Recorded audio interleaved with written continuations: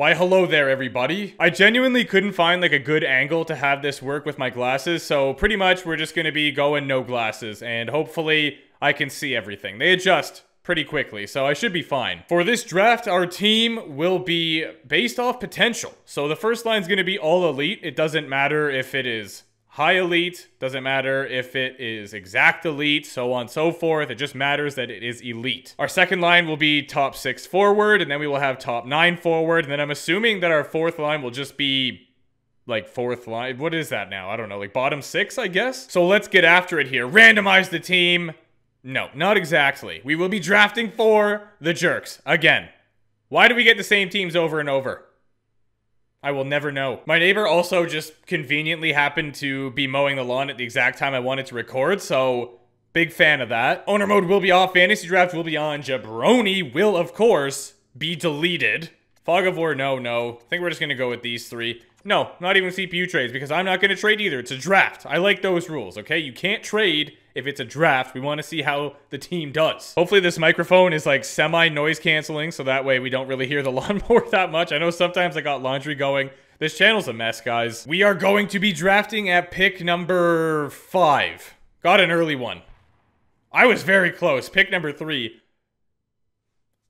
Now, can I do a franchise player? Or are we going specifically elite? Because if we're going for specifically elite, then you know, I could take one of these guys, I guess. Just because the comment specifically says first line equals elite, I'm going to not bend the rules at all, okay? I'm going to go right off of what it says. So I will take Roman Josi first. I mean, he's a great defender, don't get me wrong. But, first line left wing, medium elite, Filip Forsberg. Boom, join the team. I'm kind of hoping that Will Nye is still there. And then I will have no, he is not. I will, however, take Mika Zibanejad, who's got the low elite, 89 overall, to be our first line center. We've got some good abilities going here, but that is going to tail off real quick. Oh, I want to get Joe Pavelski for that first line. It's got to be a plus five, right? Okay, and we have a defenseman who is elite, and then we'll be top four, top six. So I need another elite defenseman, which means I'm probably going to go with one of these two.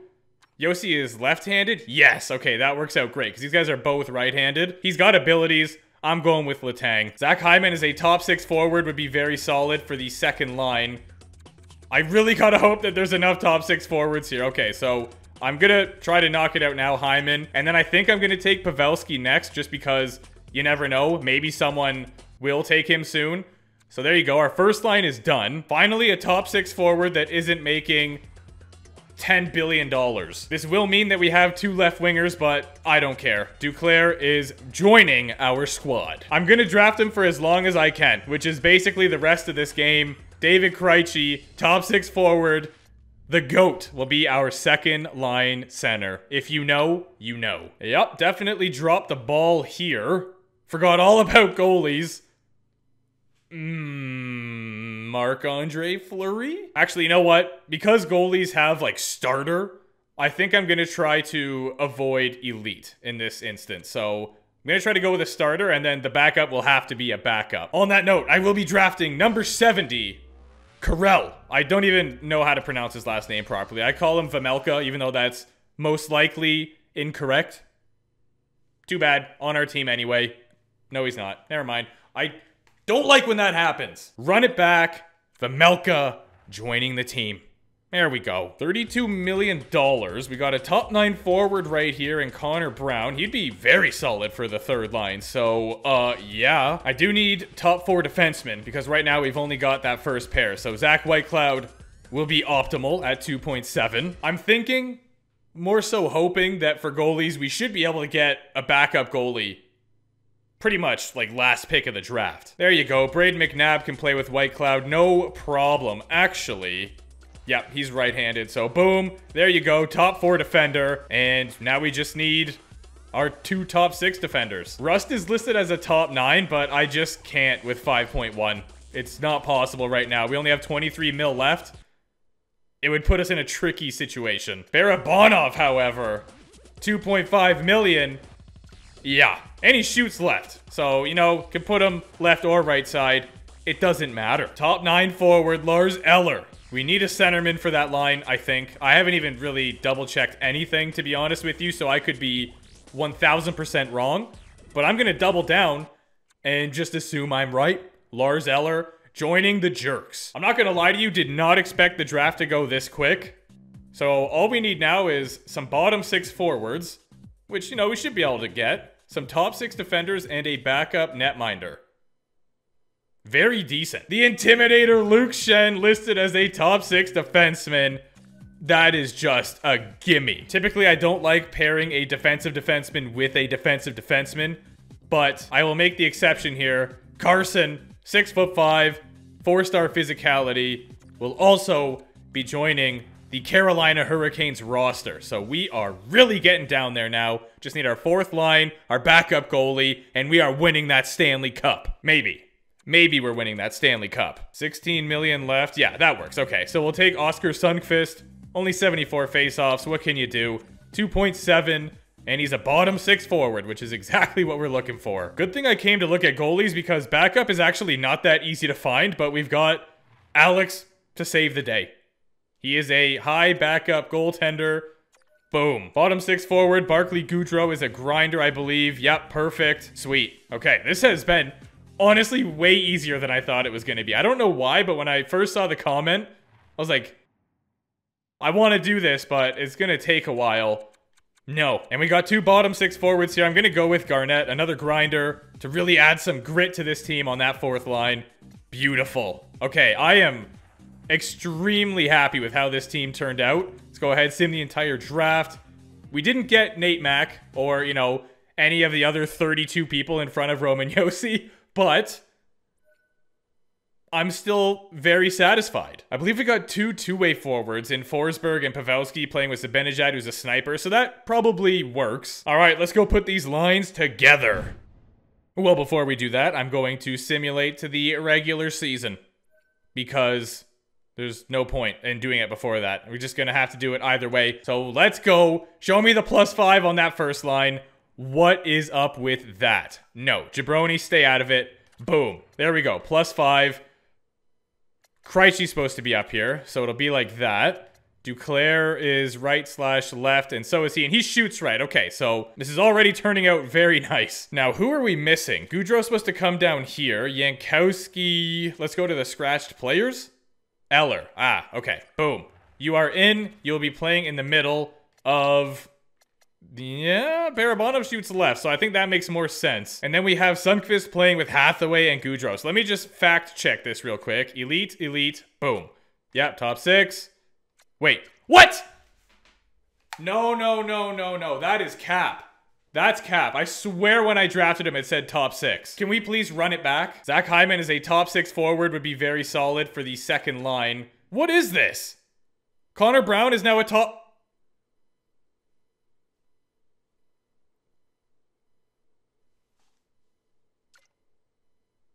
No.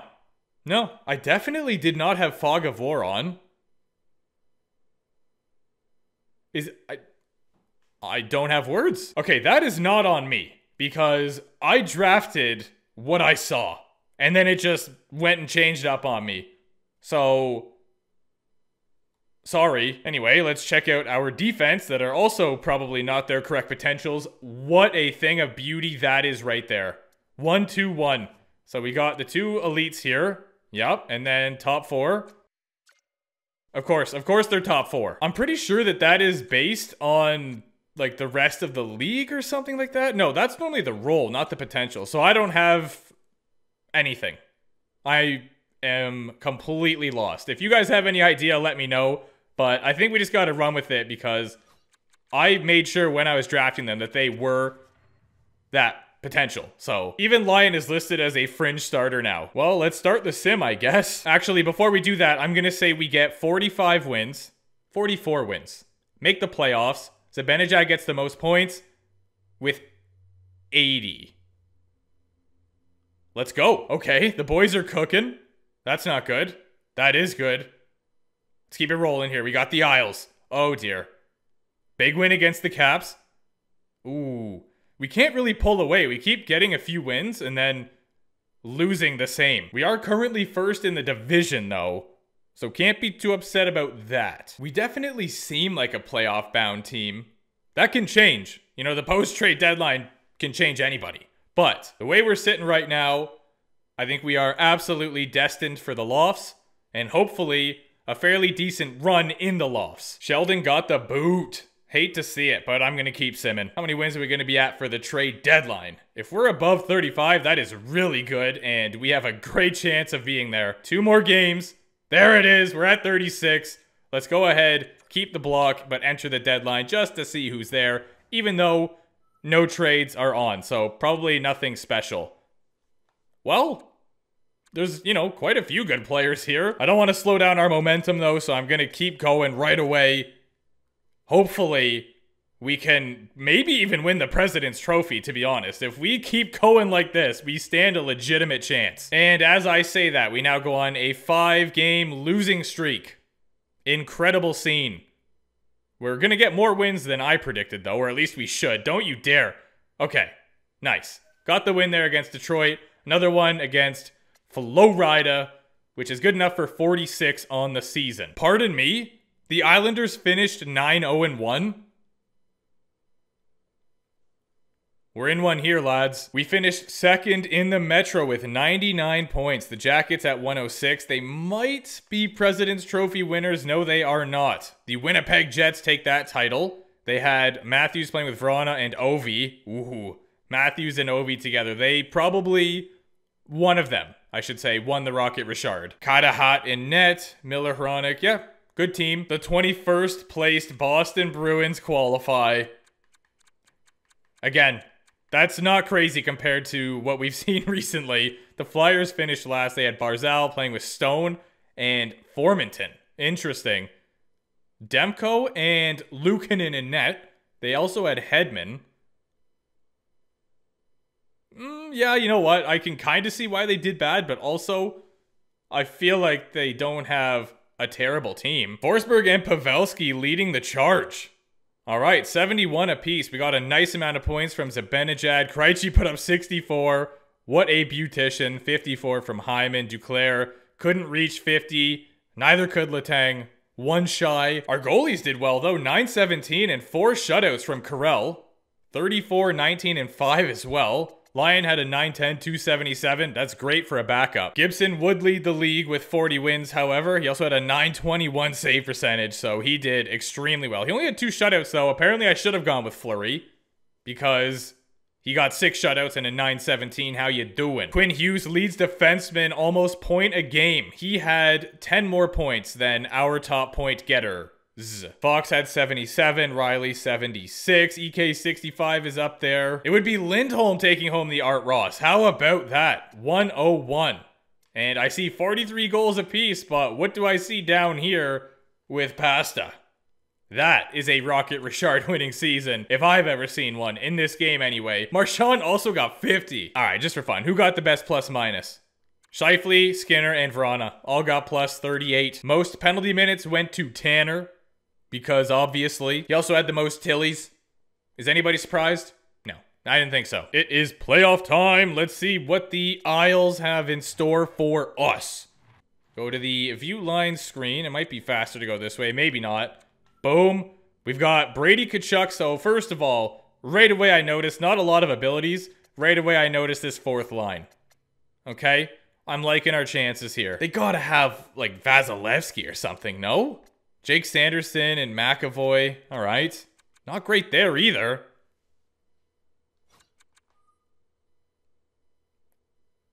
Confusion? The Isles coach better win the Jack Adams because that is insane. Let's sim past the first three. Not a good start. We're already down. Oh my. Okay, we won one. Can we make it a best of three? Yes, we can. Beautiful.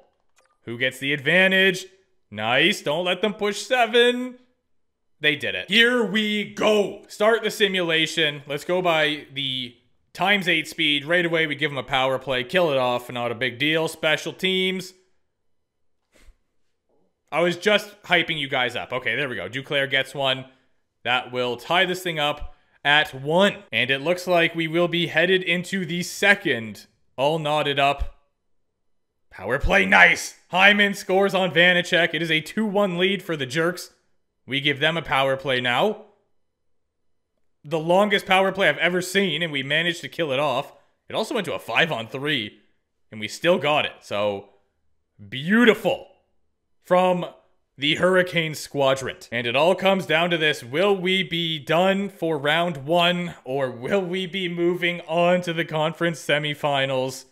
Arvidsson not letting his team go down without a fight. Hyman again. Let's go. All right, that's huge. 3-2. Five minutes remaining. Come on. Yeah, Zibanejad clutching up. That will do it. There's no way they come back from that. We are moving on. Zach Hyman, you literal beautician. And then Karel, 923. Very proud of you as well. Next up, it is the Columbus Blue Jackets. Let's sim past the first three yet again here. All right. Not good. But we've been here before. We haven't been here, though. Oh, I just realized I didn't look at their roster. That's why we're getting dummied, obviously. So, that's on me. Kind of forgot to do that. That's sort of a new thing that I've been doing. Hopefully we can win this game, and I can go see what's going on in Columbus. We were out shooting them pretty heavily, but they came back, and now the shots are approaching even. Still no goals, though. Okay. All right. Forget I was saying anything. Lindholm literally just said, hey, um, there is a goal, and I got it. So zip it. Okay. And then we get scored on by.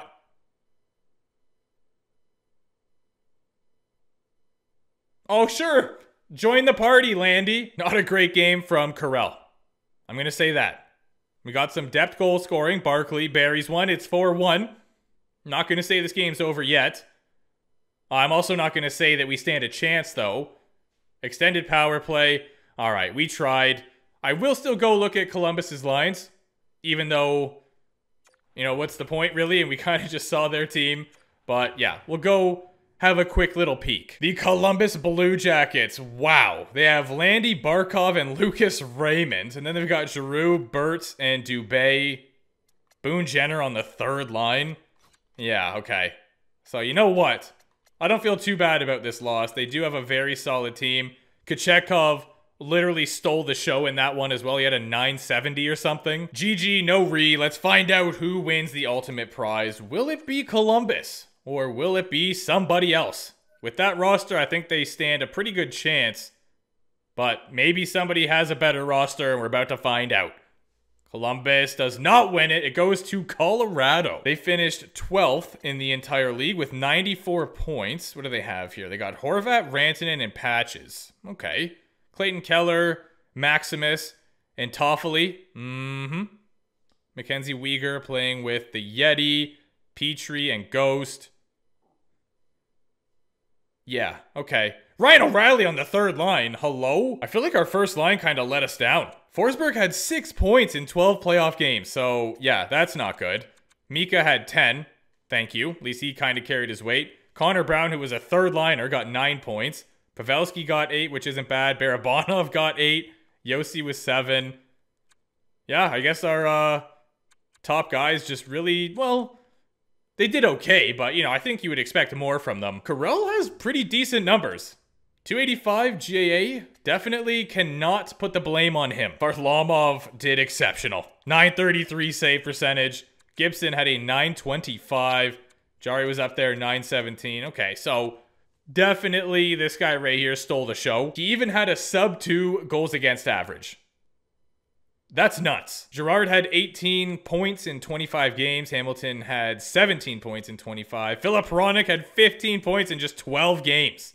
Now that's impressive. Leon Draisaitl did very well. Pettersson had 26 points in 18 games. His team did not win the Stanley Cup, however. Okay, who had the most points for Colorado? Are you trying to tell me that Jonathan Toews is about to win the Conn Smythe? I once again feel like this is an optimal time to give the Conn Smythe to a goalie. But will they do it? Probably not. Go through the team awards real quick here. Individual trophies. Lindholm does not get the Art Hart combo because Matthews ends up with the Hart. Quinn Hughes gets the Norris. No surprise there. Lady Byng will go to Lindholm. Matthias with the Calder. He really has been winning that, like every sim. Jonathan Toews with the Conn Smythe. How about that? Gibson gets the Vezina. Thompson with the Jennings. Radko Gudas takes home the Masterton. Courtnall gets the Jack Adams.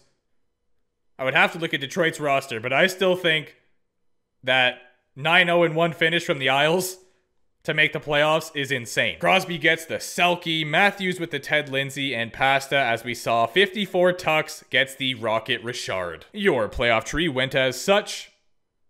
And I hope you enjoyed the video. Thank you for the draft idea. It ended up being, honestly, not as difficult as I thought it was going to be.